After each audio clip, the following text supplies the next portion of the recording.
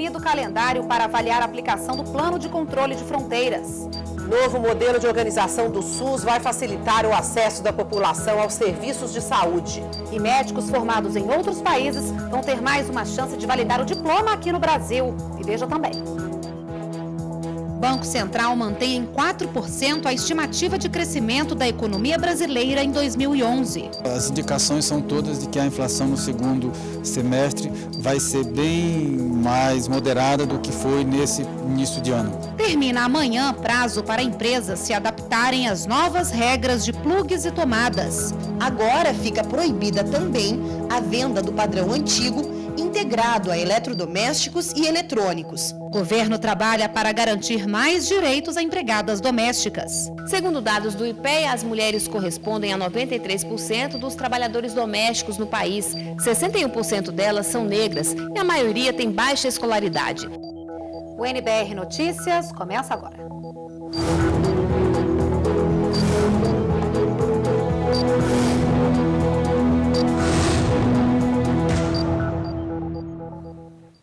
Boa noite. Olá, boa noite. O Banco Central mantém em 4% a estimativa de crescimento da economia brasileira em 2011, mas aumenta a projeção para a inflação do ano que vem. Os dados divulgados hoje são do relatório trimestral de inflação. Segundo o relatório, a estimativa de inflação para este ano subiu de 5,6% para 5,8%, ficando dentro da meta estabelecida pelo governo. Para 2012, a previsão é que o índice seja menor e chegue a 4,8%, considerando a manutenção do dólar e dos juros. O relatório do Banco Central aponta uma inflação elevada nos últimos 12 meses, chegando a 7,5% em maio. Os maiores responsáveis por essa elevação foram os commodities e os preços dos combustíveis. Elevação sentida no bolso do consumidor. Subindo cada dia mais. Continua alto. Está quase impossível mas as projeções do Banco Central apontam para uma queda nos preços. As indicações são todas de que a inflação no segundo semestre vai ser bem mais moderada do que foi nesse início de ano. O relatório do Banco Central aponta ainda uma safra recorde de grãos para este ano, com destaque para a soja, com uma taxa de crescimento de 8,4%. O feijão também registra crescimento, deve ser 19% na produção, e a safra de arroz pode chegar a 18%. O Brasil tem cerca de 7 milhões e 200 mil trabalhadores domésticos com carteira assinada, com acesso à carteira assinada e benefícios da Previdência, como auxílio-doença, por exemplo. O governo trabalha para garantir mais direitos a esses profissionais. Assunto que foi discutido em um seminário aqui em Brasília, realizado pelo Instituto de Política Econômica Aplicada, o IPEA. Há 19 anos, Rosa é empregada doméstica. Ela gosta muito da profissão. Durante todo esse período, só trabalhou em duas casas, sempre teve a carteira assinada e agora aproveita o benefício da formalidade. Estou afastada é, é, pela Previdência Social devido né, problemas é, de saúde que eu adquiri no trabalho. Segundo dados do IPEA, as mulheres correspondem a 93% dos trabalhadores domésticos no país. 61% delas são negras e a maioria tem baixa escolaridade. As condições de trabalho são marcadas principalmente pela informalidade e pelos baixos salários realidade que demanda políticas públicas específicas. O assunto foi discutido neste seminário em Brasília. Para esta socióloga do trabalho, houve avanços, mas ainda são muitos os desafios para dar mais dignidade ao trabalho doméstico. De fato, mobilizar uma política pública de proteção a essa trabalhadora, pensar numa previdência social que lhe dê o um mínimo de cobertura, né? É, pensar em equipamentos coletivos que permita a ela sair da sua casa para cuidar da casa de outrem, mas ter uma creche, ter, ter condução coletiva que de fato dê a ela o mínimo de qualidade no trânsito até o seu trabalho. A Secretaria de Política para as Mulheres vem trabalhando com outros órgãos do governo para modificar a atual legislação e assim atender melhor a profissão. Está sendo realizado uma, uma série de ações em conjunto entre vários ministérios, buscando principalmente a questão da alteração do artigo 7 da Constituição Federal, que em seu parágrafo único altera, aliás, exclui as trabalhadoras domésticas de uma série de direitos e garantias. Né? A gente está buscando muito também lutar pela, pelo pagamento do FGTS, porque sem o pagamento do FGTS, as trabalhadoras domésticas ficam mais uma vez excluídas de uma série de garantias como trabalhadoras. A questão da aposentadoria também. Paralelo às mudanças internas, a Organização Internacional do Trabalho aprovou a criação de uma convenção para regulamentar o trabalho doméstico. Na prática, é mais um passo para que as domésticas passem a trabalhar sob o regime da CLT, com todos os direitos trabalhistas previstos, como jornada de trabalho definida e FGTS. Nossa luta é para que a gente não seja tratada é, de forma diferenciada das outras categorias, porque se nós é, contribuímos para a economia mundial, para a economia do país, temos que ser também considerada e respeitada como tal, como qualquer trabalhador que está aí também dando a sua contribuição para o Brasil, para a economia. O IBGE divulgou hoje o total da receita das empresas industriais em funcionamento no país em 2009. O valor ultrapassou 600 bilhões de reais. Em 2009, as quase 300 mil empresas atingiram 2,3 trilhões de reais. Quase 8 milhões de pessoas foram empregadas naquele ano. Os gastos com pessoal foram de 240 bilhões de reais. Na comparação com o ano de 2008, a fabricação de produtos alimentícios teve destaque na participação da receita. O óleo diesel manteve a liderança no ranking dos 10 produtos industriais com maior destaque em 2009, com a participação de 48 bilhões de reais. E o IBGE também divulgou hoje a pesquisa anual de comércio de 2009. Naquele ano, mais de 1 milhão e 400 mil empresas comerciais empregaram quase 9 milhões de pessoas, uma receita de mais de 1 trilhão e meio de reais. Em 2009, foram pagos 95 bilhões de reais em salários. O novo modelo de organização do SUS quer acelerar o acesso da população aos serviços de saúde em todo o país. O decreto da presidenta Dilma Rousseff já foi publicado no Diário Oficial. O texto estabelece as responsabilidades da União, dos estados e municípios ao regulamentar a Lei Orgânica da Saúde. A repórter Angélica Coronel tem ao vivo as informações. Boa noite, Angélica. Boa noite, Débora. A principal mudança, a principal novidade do decreto é a criação de um contrato de ação pública que vai definir as responsabilidades, inclusive financeiras, dos estados, dos municípios e da União na prestação dos serviços de saúde. Aqui conosco o ministro da Saúde, Alexandre Padilha. Boa noite, ministro. Como vai ser a divisão dessas responsabilidades nesse contrato? Boa noite. Em cada região de saúde, que é um agrupamento de municípios que garante uma rede que vai lá da atenção básica do centro de saúde até o hospital, nós vamos ter exatamente qual é a responsabilidade de cada município, de cada secretaria estadual, do governo federal em relação a atender metas para a população. Nesse contrato, que é um instrumento novo, nós vamos dizer quantas cirurgias serão feitas naquela região a partir da necessidade que a população tem, quantas gestantes têm que ser acompanhadas no pré-natal, a redução de mortalidade infantil, ampliação de um conjunto de serviços, inclusive deixar claro para a população na relação nacional de serviços aonde são prestados cada um dos exames, dos atendimentos, das cirurgias especializadas na região. A ideia é ter um compromisso claro entre o governo federal, estadual e municipal para atender a população, definidas claras quais são as responsabilidades de cada um e uma forma da população saber como que pode usufruir do Sistema Único de Saúde na sua região. Isso não acontecia, né, ministro? Essas responsabilidades não estavam claras até agora. É, a grande vantagem é que agora nós temos um documento, um instrumento forte, através de um decreto da Presidência da República, que estabelece esse instrumento do contrato, que vai ser assinado pelo prefeito, pelo governador e pelo Ministério da Saúde, assumindo compromissos mais claros. Antes você tinha o credenciamento de serviços, eventualmente algumas regiões podiam definir metas, mas a ideia é de ter uma região claramente definida, que tem uma rede a oferecer todo o serviço para a população. E o que essa rede tem que fazer, o que ela tem que ofertar, através desse contrato fica um instrumento mais firme, com responsabilidades mais claras e uma melhor forma da população, da imprensa e de todo mundo acompanhar o que está sendo feito. Ministro, a lei que foi regulamentada agora é de 1990. Qual a importância de finalmente o país ter essa regulamentação? É um marco histórico no SUS, no Sistema Único de Saúde. Há 21 anos nós temos a lei do SUS, ao longo desses anos foram acontecendo vários aprimoramentos de como tem que ser a relação, mas pela primeira vez você tem um instrumento mais forte para estabelecer a responsabilidade e voltado para o cidadão. A nossa grande preocupação é estabelecer compromissos, metas claras de melhorar o atendimento da população, inclusive no contrato ter formas de acompanhamento, de satisfação do usuário, né, de envolvimento do conjunto da sociedade no acompanhamento desse contrato. Certo, muito obrigada pelas suas informações, ministro da Saúde. Os médicos que se formarem em outros países, mas não são habilitados a trabalhar aqui no Brasil, vão ter mais uma chance de validar o diploma no país.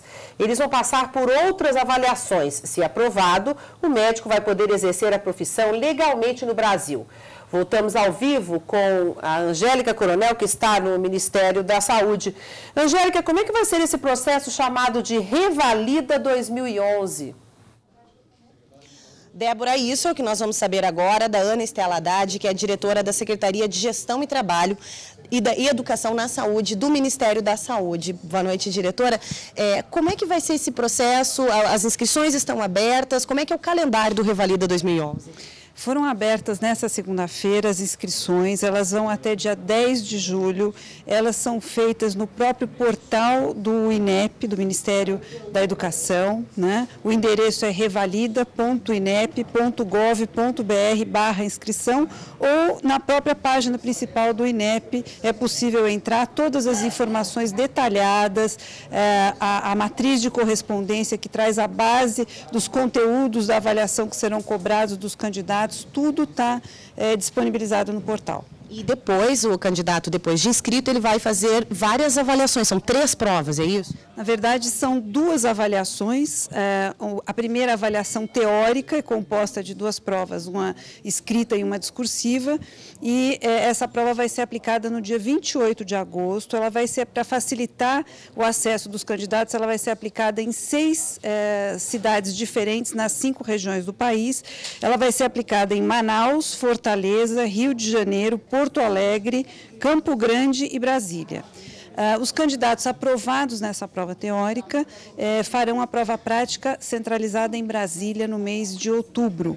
Uh, o edital de inscrição já traz a nota uh, que deve ser atingida, o desempenho que deve ser esperado dos candidatos nessa prova para poder passar para a segunda etapa. E ele escolhe em qual, por qual universidade vai querer ter o seu diploma revalidado? Exatamente. Nós temos disponível no site, durante a inscrição, a relação de 37 universidades públicas que aderiram ao Revalida e ele pode escolher ter o seu diploma revalidado por qualquer uma dessas 37 eh, universidades. Certo, muito obrigada. Lembrando que o Revalida é válido tanto para brasileiros que fizeram curso de medicina em faculdades no exterior, quanto para estrangeiros que querem atuar aqui no país. Voltamos ao estúdio. Foi definido hoje um calendário para avaliar a aplicação do Plano de Controle de Fronteiras. A reunião foi entre o presidente em exercício Michel Temer e o ministro da Justiça José Eduardo Cardoso. Vamos estar eh, não só eh, acompanhando a operação do plano de fronteira, mas como também aprofundando as discussões relativamente a esse plano. Então nós já marcamos eh, uma reunião com o ministro Nelson Jobim e pretendemos inclusive fazer algumas visitas a alguns pontos de fronteira para que nós possamos analisar a aplicação do nosso plano e avaliarmos a evolução da execução. Já... O ministro da Justiça também falou sobre o relatório da ONU que aponta o Brasil como a principal rota de tráfico para a Europa. Nós somos um país uh, continental com as características que nós uh, sabemos uh, de dificuldade de controle de fronteiras que nós estamos enfrentando agora de uma forma, diria, mais articulada e mais organizada. Esses dados já eram da nossa ciência, eh, já tinham sido debatidos, dialogados por nós. Muitas das apreensões que são registradas nesse relatório foram motivadas por ações de inteligência da Polícia Federal Brasileira. Né? Então, eh, o importante é dizer o seguinte: nós estamos eh, trabalhando esses dados, mas agindo. É agindo, acho que no caminho certo, de uma forma a atacar o problema de frente com coragem. Sobre os ataques de hackers a sites do governo federal, o ministro confirmou que a Polícia Federal continua investigando o caso e que o governo vem agindo com o maior rigor possível para atacar o problema.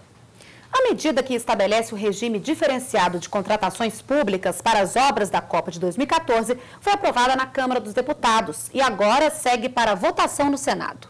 É, hoje, durante o programa Bom Dia Ministro, Orlando Silva disse que o novo modelo de licitação garante a transparência de todos os dados e que não há restrição de acesso à informação para a sociedade.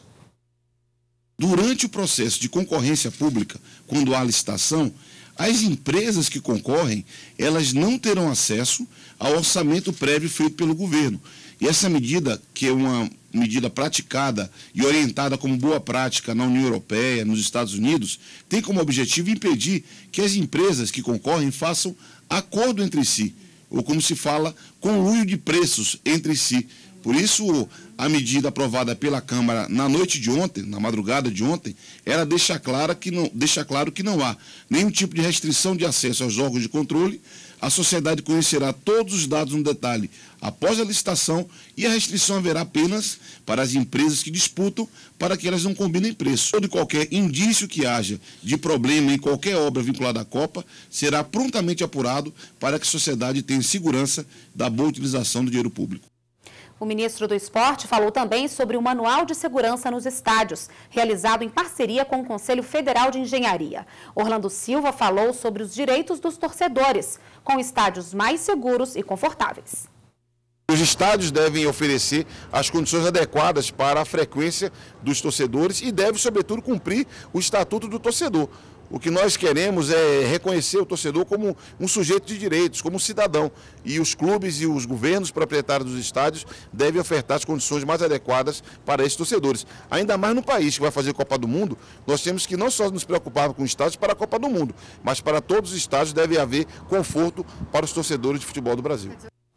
Hoje, no Paraguai, a presidenta Dilma Rousseff participou da abertura da 41ª reunião de cúpula do Mercosul. No discurso, Dilma disse que é preciso assegurar que os mercados dos países em desenvolvimento sirvam de estímulo ao crescimento, desenvolvendo e gerando emprego e renda para os povos. Na reunião ampliada com os chefes de Estado e ministros dos países membros e associados, Dilma ressaltou o êxito da região em 2010, com destaque para o crescimento do Paraguai, que superou os 15%. Mas, para manter os avanços e a competitividade na América Latina, a presidenta fez um alerta. Os países em desenvolvimento precisam adotar mecanismos para se proteger do excesso de produtos vindos dos países ricos em crise, o que acaba gerando pressões inflacionárias devemos cuidar para que nossos mercados venham a servir de estímulo ao nosso crescimento, desenvolvendo e gerando emprego e renda para nossos povos. Precisamos avançar na agregação de valor para nossos produtos. Acabar com as assimetrias entre os Estados partes do Mercosul também é um dos desafios do bloco. Uma das decisões prevê a criação de medidas para que países menores sejam mais competitivos na economia regional. Em Assunção, a presidenta também teve uma reunião bilateral com o anfitrião Fernando Lugo. Na foto oficial da cúpula, só faltou a presidente da Argentina, Cristina Kirchner. Ela não participou do encontro por orientação médica. E terminou agora há pouco no Palácio do Planalto a reunião da Câmara de Política de Gestão, Desempenho e Desenvolvimento. O repórter Adilson Mastelar está ao vivo e fala o que ficou decidido no encontro. Boa noite, Adilson. Boa noite, Débora. Boa noite a todos. Primeiro, é importante lembrar que esta Câmara foi criada para aprimorar a gestão da máquina federal. A reunião entre ministros e empresários que integram o Comitê de Política de Gestão, Desempenho e Competitividade durou quase duas horas aqui no Palácio do Planalto.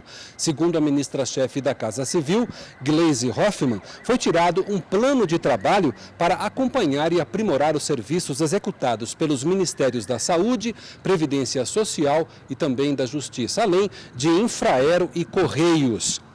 Gleisi Hoffmann lembrou que de imediato será desenvolvida uma capacitação rápida de gestores pelos ministérios. Infraero e Saúde são as primeiras áreas a serem acompanhadas mais de perto pelo Comitê de Política de Gestão. De acordo com a ministra, as ações envolvendo o Ministério da Saúde vão ser discutidas em reunião com o ministro da pasta, Alexandre Padilha. Quanto à Infraero, um plano de ação já está sendo finalizado.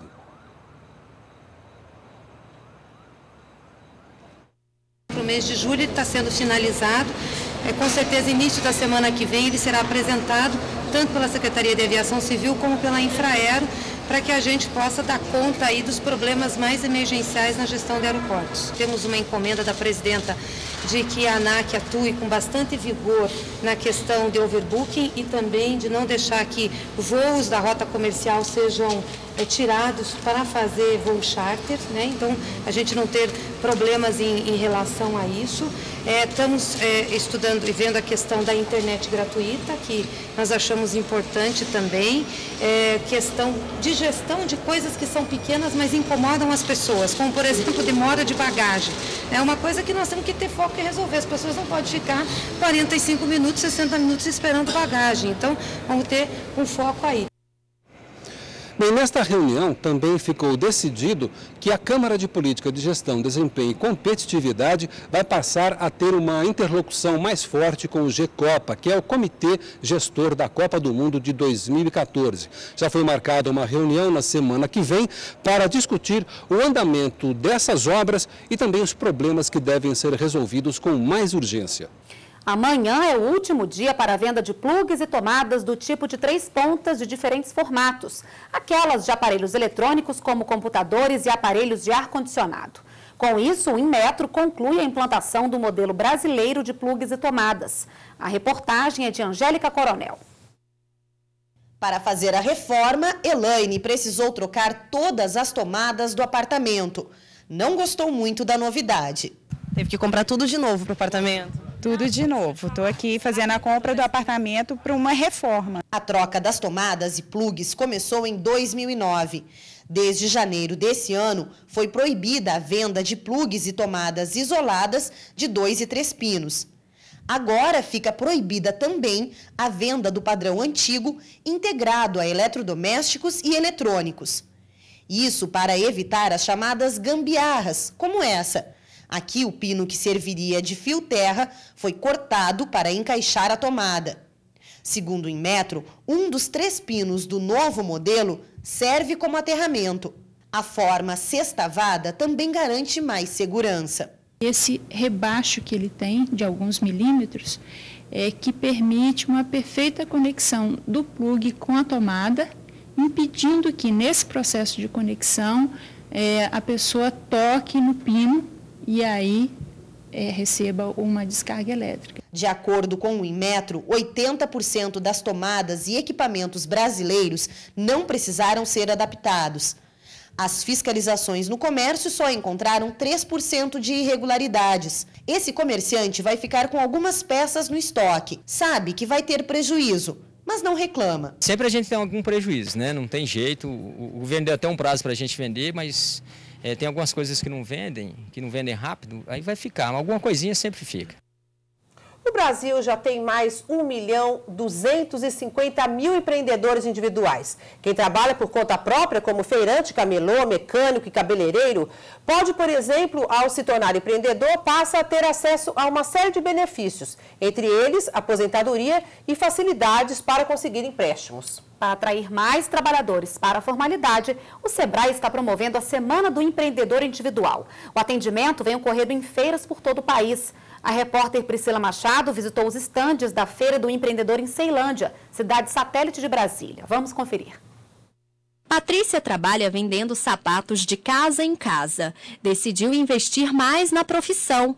Ela veio até a feira do Sebrae em Brasília, preencheu os documentos e saiu daqui uma empreendedora individual. Vou poder emitir nota fiscal, eu vou poder, não vou perder tanta venda com relação a cartão de crédito, por exemplo. Crédito bancário, né, para um capital de giro, onde eu vou, posso estar ampliando, melhorando o meu negócio. Quem ganha até 3 mil reais por mês pode se inscrever como empreendedor individual. O Sebrae montou tendas como esta em todas as capitais do país. O atendimento vai até sábado, 2 de julho. Aqui a pessoa pode tirar dúvidas e se formalizar. Basta trazer o CPF, carteira de identidade e comprovante de residência. Como empreendedor individual, a pessoa paga R$ 27,25 por mês em impostos. Se for trabalhador do comércio, da indústria ou prestador de serviço, a taxa é de R$ 33,25. Assim, passa a ter o CNPJ, que é o cadastro de pessoa jurídica, e ainda tem acesso a benefícios como isenção de tributos federais. Imposto de renda, PIS, COFINS, etc. Todos os tributos. Ou seja, é um ganho espetacular sobre todos os aspectos da vida do cidadão. Pode vender para o governo, pode vender para as grandes empresas e pode desenvolver empresarialmente. Eu acho que é o passo necessário para o crescimento é, do seu negócio, do seu empreendimento. Desde que a lei do empreendedor individual entrou em vigor em 2009, mais de 1 milhão e 250 mil pessoas já se formalizaram. O Sebrae espera que mais 40 mil trabalhadores saiam da informalidade durante a Semana do Empreendedor Individual. A vendedora de roupas Rizomar se cadastrou no programa. Ela diz que a partir de agora não vai mais se preocupar com a aposentadoria no futuro. Eu já saí daqui com tudo aqui registrado, tudo bonitinho, legal, né? Então achei que seria assim, uma coisa de um, sete cabeças, mas não é. E se você não tem a chance de ir até uma, uma das feiras do Sebrae espalhadas pelo país, basta acessar o endereço eletrônico que está no seu vídeo. Por meio do portal é possível tirar dúvidas e também fazer o cadastro para se tornar um empreendedor individual. Essa edição fica por aqui. Outras informações a qualquer momento em nossa programação. Uma boa noite para você. As reportagens do jornal podem ser vistas na internet. Uma boa noite para você e até amanhã. Continue com a gente, NBR, a TV do Governo Federal.